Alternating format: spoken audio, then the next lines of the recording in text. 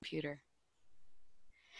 Hey, everybody, it's Kristin and Mary Fran again with our brilliantly resilient live, raw, resetting.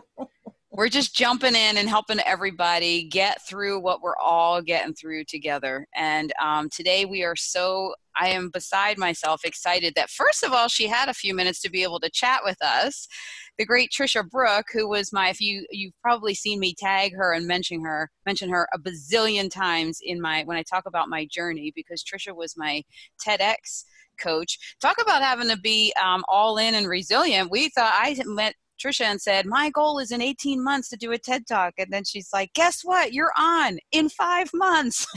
At the worst part of my life, it was like, So if anybody says this is not a good time to do something, uh uh-uh. uh Tricia's like, Get in there and just do it. And it ended up to be the best thing that ever happened for me as a person, as a speaker, as a nonprofit owner, and as a mom. So it was it was phenomenal to uh, that the universe brought us together, and I'm so happy to bring Tricia to the rest of my world and Mary Fran's world in our brilliantly resilient journey. So Tricia, thanks so much for for having a few minutes to come on and talk with us today. Thank you, Kristin and Mary Fran. And Kristin, you call, I say yes. I don't even ask for what. so anything, anytime, always yes. Yeah, I, oh. I, usually have a second that I have to think about it when she calls me. I don't know. Yeah, Mary Fran's like, how much tea have I had today? Can I handle this energy level?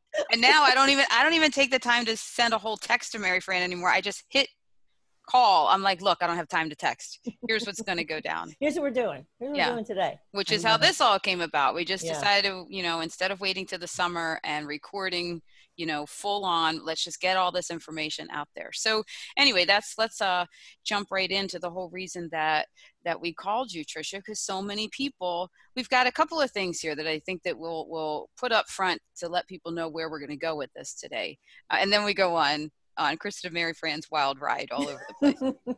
so um, Mary Fran and I were talking this morning that I've got a, a, college kid in my house that is is him and all of his friends and a lot of because of the way my friends are and the ages of our kids have college kids, high school seniors.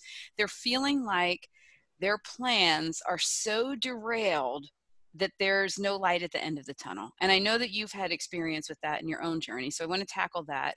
And then also business owners are are losing it um, because plans are derailed everything's getting canceled and they feel like all of their their hopes and dreams are in the can and how do they pick themselves up and you're actually tackling that also so let's um if we can go back and begin at the beginning of of where you started out, what you wanted to do, and then bring us up to speed of what you're doing now. Do you mean the very beginning, Kristin? How far back do you want me to go? way, way. Plans back. have been derailed from the beginning. This is not new. you know what? That is the key to this whole conversation. That this is not new. I mean, clearly the scale on which the world is experiencing this is new, right. but plans being derailed. I mean, how many times I, I want to know the people who start a plan and it goes exactly the way they plan from beginning to end because I don't know anybody that that happens to. So and how limiting, that. how limiting is it if our plan is exactly perfectly how we wanted it to go? Yes. That's the that's the the thing that people um, I think can can learn from this is. Um, let me just share. H1N1 hit right in 2009. I had to cancel my wedding oh, my god, I didn't know oh. that. This is not the first time plans have been derailed or shifted. Oh my wow. Now I'm I'm happily married for 11 years. We did get married, but things happen all the time. And if I had said, "Oh my gosh, poor me, I spent all my money on the wedding. It was an act of God, so I'm not getting it back. How am I ever going to get married?" That would have slowed down the process of spending the rest of the life of my life with the man who I'm meant to be with.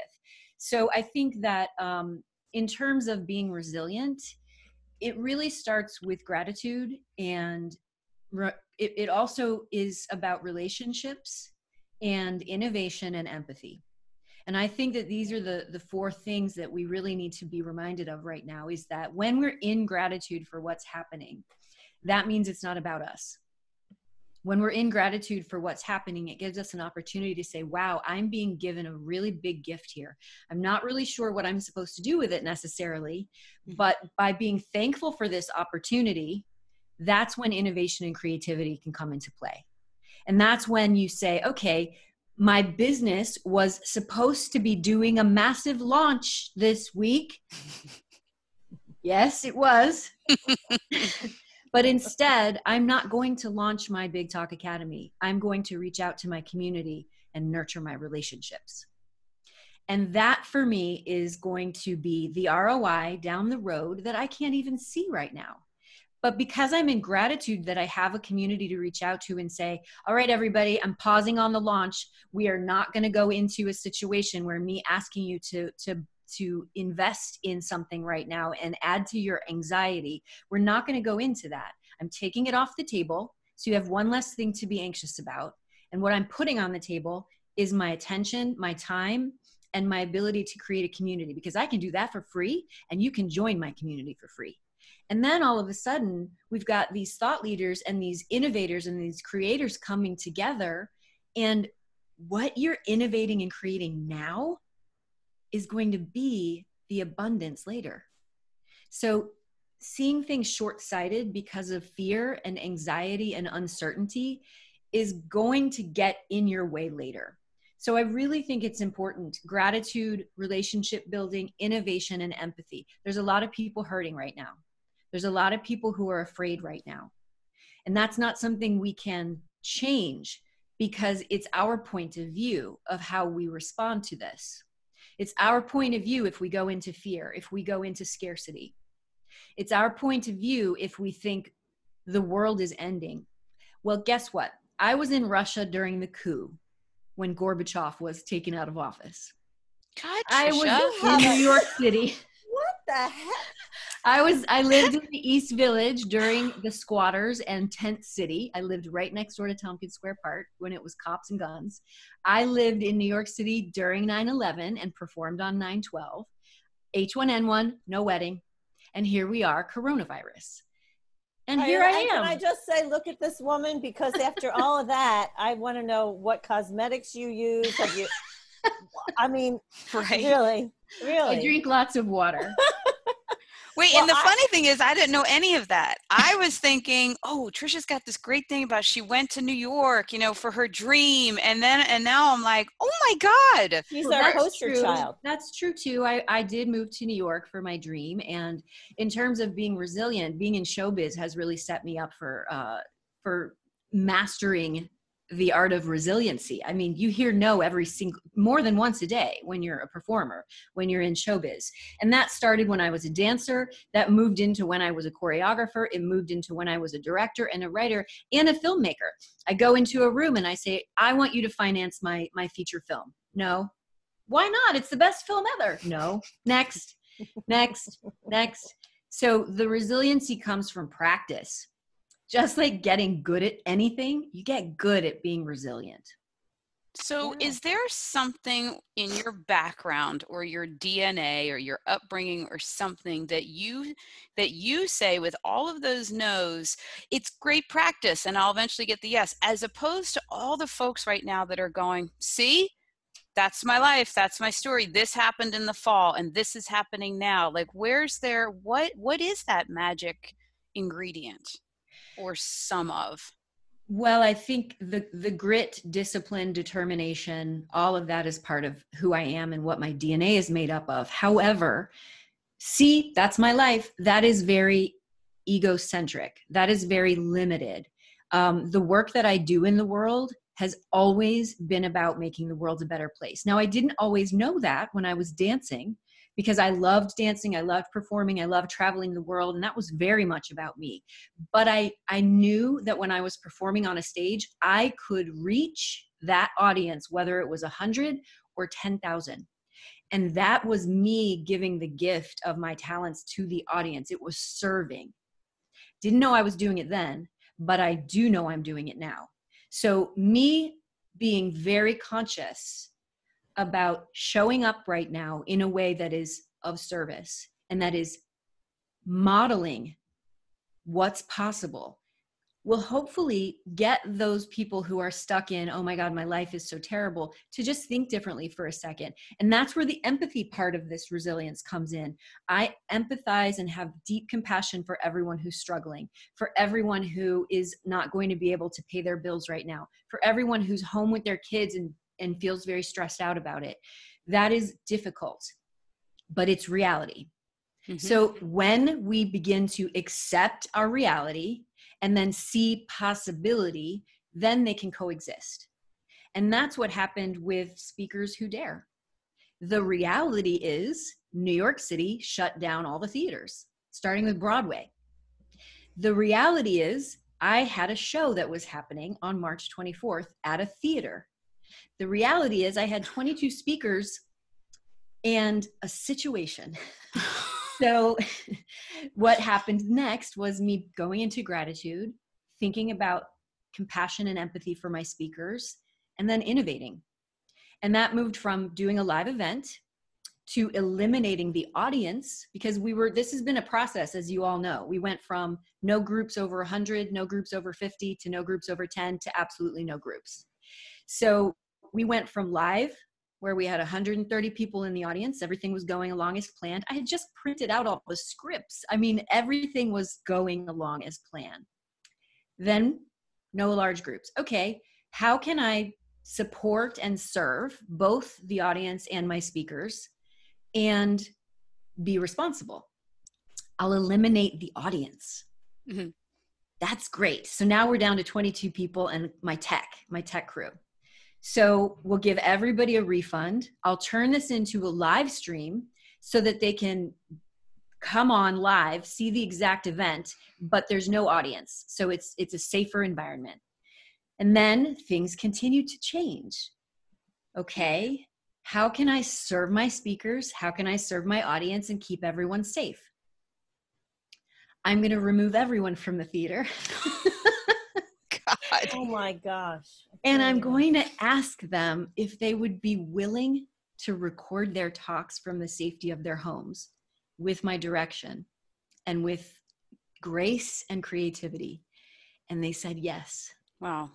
So I've been able to give them an opportunity to show up in a new way as a speaker, to innovate a new platform for speakers mm-hmm. so that it's not from a stage, it is super creative, it's super theatrical, and I'm this weekend I'm cutting together a film version of Speakers Who Dare, which will go live at 10 a.m. Eastern on March 24th. And there's some there's some special things that I'm adding, of course, because uh, I want it to be an exciting event and an exciting show. So we are I literally removed everyone from the theater. So there's no there's no risk. We are uh, following the protocol of being safe in New York. We're following the protocol of the CDC in terms of uh, slowing down the um, the virus so that we can heal as a community and as a global culture and get back to what it is we're meant to be doing, which is making the world a better place. Wow. Wow. That's amazing. If that's not resilient and innovation and all of that, then I mean that is that is now let me ask you this in the in the realness and rawness of all of this, were there days as you were getting all of those notifications were you like, for the love of God?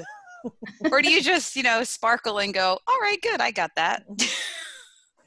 I was very mindful and I, I definitely spent time going inward. And I also spent many, many questions and much time saying, Am I making any decisions based on my own needs? Hmm. Am I making any decisions because it's my show? Am I making any decisions because of my ego? And it was very important to me that I never make decisions based on my ego or my show. And I think what was easy about that was I put on shows all the time. I can create a show without any problem. This wasn't a big loss like the canceling of my wedding.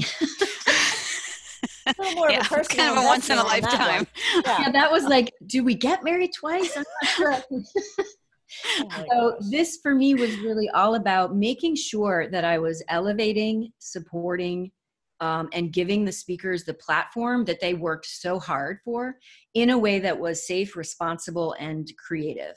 Um, so when when Sunday came around and things just kept progressively getting more restrictive, I had to think. I never thought once I need to cancel, and I never wanted to postpone. Hmm. That was clear to me. I had massive clarity around I'm not postponing because these speakers are busy. My life is not going to allow for a postponement, and I can find a way to make this okay. I knew I could. So canceling was never an option. So because canceling was never an option in my mind, in my heart, that is why I got the download of how to make this happen. I stayed open in gratitude and I thought about really what's possible. And that's something I would love for all of your listeners and viewers to consider is anything really is possible. And when you're in a dark time, when you're in a time that just feels like this is never going to end, how the F am I ever going to get past this or out of this? When you stay open to what is possible, the universe will provide you with an answer. Oh, you're bringing you know, tears to my eyes. you said you said two words that I think are key to that, and and and they were removing your ego and empathy. And at this point in the game, and you talked about service, and I think that's that's where we all have to operate from that place. And not only are you providing a service to the people who are going to hear these these speeches and these talks, but you know you're providing a service to the, the, the speakers themselves. Like there are ways that we can serve different people in this in this whole arena and and people that we might not think about serving in ordinary circumstances. But removing that ego and that empathy i think they're so important. Yeah. Thank you. I, I think that when we're stuck in this is happening to me instead yeah. of for me. And I, I find that to be super cliche and cheesy but very valuable right now. Yeah absolutely. And i mean the idea about the the creativity and the innovation we had a conversation with um, with our buddy chip baker yesterday and we talked about that. This is when all of the norms are taken away that's when people begin to get creative and think all right well how can i do this without that and and you know that opens the door for for a lot of of innovation and a lot of learning and a lot of possibilities that you know we we didn't have just a couple of weeks ago. Right. Yeah.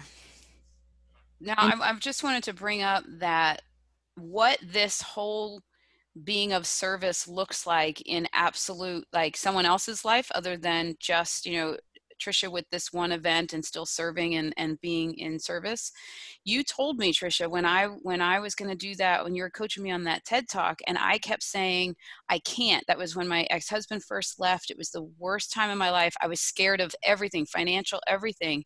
And you're you changed my mindset that day when you said, but your message needs to serve people. There's a lot of people that need to know what you know, and you have to look at this as serving them as opposed to serving myself as launching. I kept thinking it would launch my speaking career and do the things I wanted to do, and you you totally switched it that it was no, it was about everybody else. And when I went and it was just a very tiny little different way of looking at it. And then it became the thing that yes, it has served all of my community extremely well, but it's the thing that got me out of the pit I was in that it actually ended up serving me very well to be first in service of everybody else. Right. Yeah, I think wild. those are the things. I think those are the things that, when again, removing that piece of ego, it also eliminates a lot of the fear that you have about putting yourself out there. When you can say, okay, this isn't really for me. I want to do this for somebody else. I mean, we all have a tendency to jump in when we're helping other people, I think, as opposed to putting ourselves on the front line in that judgment zone. When you take away that fear of being judged and think, hey, maybe this will help somebody, and if other people don't like it, eh, you know, whatever. Um, but when you put yourself out there in that frame of mind, then you you you're harnessing an energy that wasn't available to you before. Oh, beautifully said. Yes absolutely now, so did you have any of the speakers in this, in the um, speakers who dare and, and turning it into a video? I know that I'm thinking of the people that are nervous to be on stage must be like, cool, I get to be home. But the people that need that audience and need, like me, I, I love to be in front of people and get my energy from them. How did, how did, um, how did they manage with, with something like this? I gave them some direction as a group in our Facebook group, which was um, you may feel as though you are sitting in front of a camera and that you're not reaching anyone and you don't have that energy of a live audience. However, you need to broadcast and transmit through that lens because now you have a global audience. Mm and that is how i directed them in terms of how to manage that difference in energy of standing on a stage having real live feedback energetically. They're not going to have that energetic feedback. However they get to know energetically that on march 24th their live stream has global reach. And so they literally get to talk to more than 100 people that day so it is a different way of performing. It's just like when I'm working with actors who are in theater versus actors who are uh, in a film or in a, a television series. Hmm. Um, that projection when you're at a theater is much more energetic. It's much more. Um, uh, it requires more energy when you're doing a tape with an actor. you have to be small. You have to like it's lightning in a bottle. So they get an opportunity now to uh, step into the role of uh, actor. You know what I was just thinking about too? So the other night, me and, and my middle son Mitchell and a, a few of us were supposed to go to Boston for um, St. Patrick's Night Dropkick Murphys at House of Blues. That was like Mitchell's dream, and we had this foundation that was working on backstage passes and everything for him. And then everything happened, and we couldn't go but Dropkick Murphys still did a live stream since everything got shut down and that's their big annual thing. They did a live stream of their concert and Mitch and I had a whole we were in the kitchen, we had the surround sound in the house on and had our own little St. Patrick's party with them playing and and um, you know I was able to watch it on YouTube but we had a conversation after that. Mitch is like how could they possibly have still had the same you really felt like that place he didn't believe me that there was nobody in it. That they he's like there had to have been a whole crowd there that we couldn't hear. I'm like no it was just the production crew. That's all that they were allowed to have. He could not get over that they came through mm. as if there was a crowd in the room and it was and the same thing that you're saying like for all of your speakers Dropkick Murphys had everyone. It was constant. The the comments. I'm in Dublin. I'm you know, and I'm like I'm in Bucks County, Pennsylvania. It was all over the world, and everybody then was so grateful, mm-hmm. as was I, that it took, and it was two hours that went by like that, and never in my life would I have thought I would look at this little phone, and have the greatest time with my son, not being able to be there live. But it's exactly what you're talking about. They came through that lens like like we were all in front of them yeah absolutely and jamie broderick my producing partner for speakers who dare she will be an animal on march trust me she we will know be, her we, la, la, la, with the be, pr she will yeah. be working with marketing and pr so if you join us you will have an incredible uh, live stream experience how can we join it? Let's make sure that we mention yeah, that. Let's make sure that. Mm-hmm. Absolutely. You can go to speakerswhodare.com and uh, on the attend, we can also put this link in the in the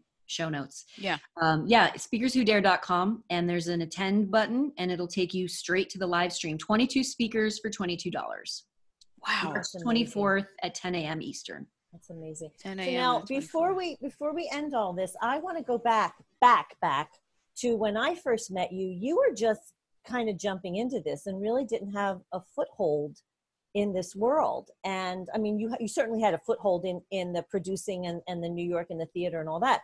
But as far as the speaking thing and producing those kinds of things and where you started with the TEDx and, you know, the podcast and all that, you didn't have any of that in uh, just a few short years ago. So like i'm always amazed by the by watching your trajectory over that time because you just dove in so how like how what kind of advice can you give to people at this point where all the rules are changed? What do we do that's such a great question. In terms of jumping in, I have always jumped in, whether it was in performance, writing, directing. Um, I jumped into being a writer because I was impatient about a show that I wanted to direct. So I just wrote it myself. I jumped in. as a producer because I was impatient about my show that I wanted to direct. So I just produced it myself. so, impatience is a great quality. I'm the same. Like I want everything yesterday. All right, if you're not going to give it to me, I'll do it myself. Right. Exactly. um, yes, I was.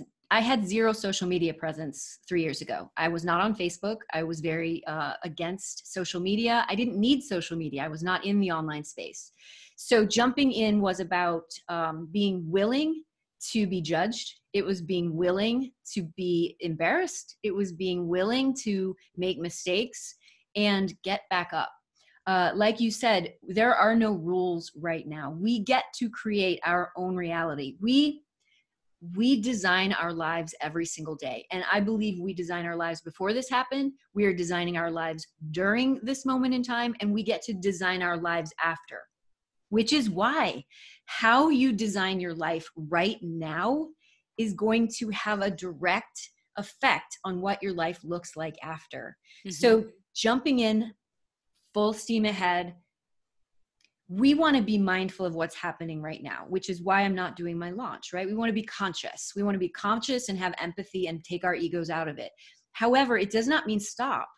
Mm-hmm. If we stop when this is over, we won't have anything we need to be planting these seeds and innovating and creating and designing our lives now so that when we're past this, through this, over this, we have something incredible that we never could have imagined if we weren't designing our life with these circumstances right now.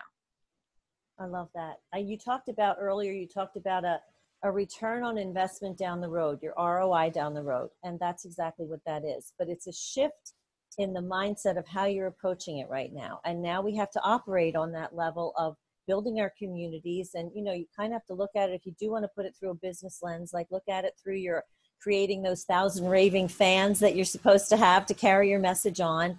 But this is an opportunity to do that, provided you have that kind of little value shift in your head that you're serving at this point to eventually, you know, build for down the road.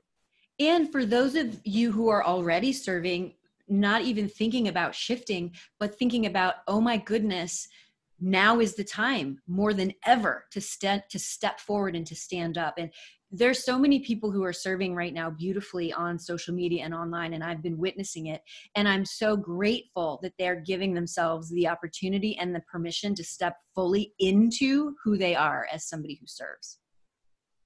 Yeah. That. Yeah. Good stuff and and yeah this is the time that i am seeing you know in all of the madness there is a ton of people serving it's cool. It's one of those things i always say um, especially in my rare disease community if you look with hopeful eyes you will see hope and you will see all of these good things. If you're going to look through a different lens, that's all you're going to see. But I keep seeing all the serving and people just literally jumping into even like the um, all of the athletic trainers that are not getting any business right now, but they're still online saying, I'm mm-hmm. here for you and doing the workouts, like those kinds of things um, without even considering what their ROI is. And they're not realizing that that's huge ROI later and and our thing that we always talk about we talked about this mary fran and i at the beginning of this week when we started this you know and i've said to my kids at the end of this um, exactly what you were saying tricia at the end of this what do you want to be able to look back and say that you did? You played the Wii a thousand times? Like would you and we always say do you want to come out? We're all going through something at some point now we're all going through it together. Do you want to come out broken or brilliant so if you're going to be in service and continuing to get your message out there and pivoting and seeing how you can serve people empathetically, like you say, um, yeah, then then there's there's no chance you're coming out broken. It will mm-hmm. be brilliant. We just my problem is I don't know what it looks like yet. I'd like to read the last page of the book to know where I'm going all through the chapters.